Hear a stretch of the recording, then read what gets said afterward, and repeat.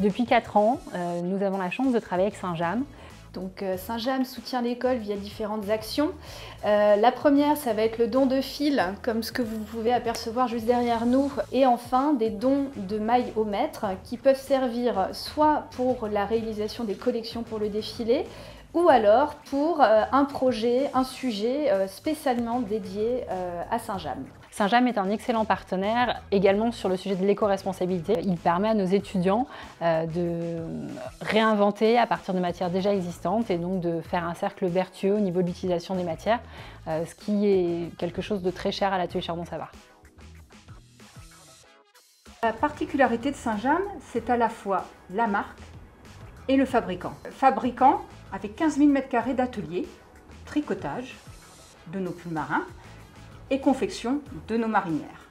Et enfin, une marque, 56 millions de chiffre d'affaires, dont 40% à l'export. Donc, en troisième année du diplôme de designer de mode, on nous a proposé de participer à un concours Atelier Chardon-Savard X Saint-James. Et la consigne était de réaliser une pièce de haut avec des tissus que nous ont passé Saint-James. Et j'ai fait une robe.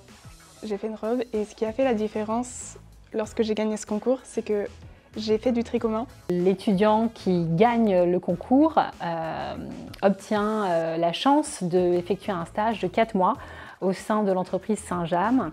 Il passera deux mois euh, auprès de la manufacture de Saint-James et puis deux mois auprès de Saint-James Tricot tout au long de son année de professionnalisation, qui est une véritable chance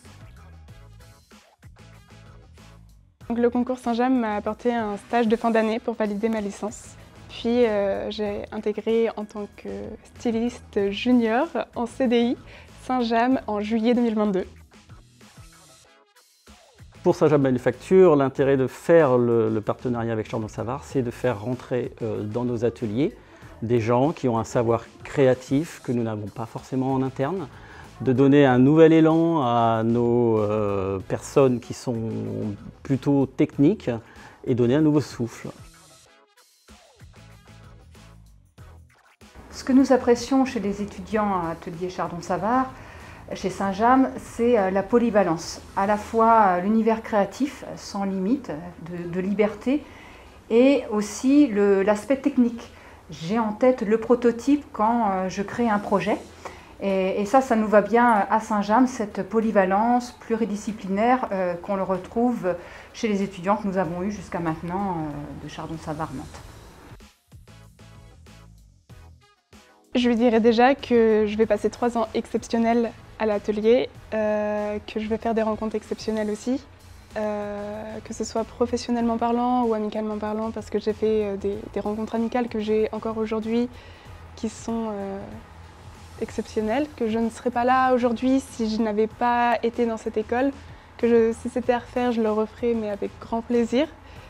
Et que je vais participer à de super beaux projets euh, pour la suite et que je pense que ce n'est pas terminé.